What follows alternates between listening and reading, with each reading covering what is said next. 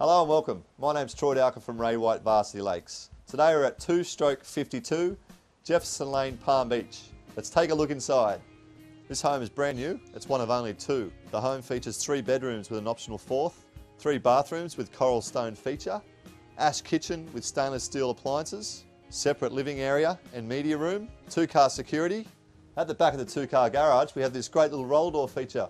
This is convenient when you want to take your bikes out if the cars are parked in. Magical living in Palm Beach.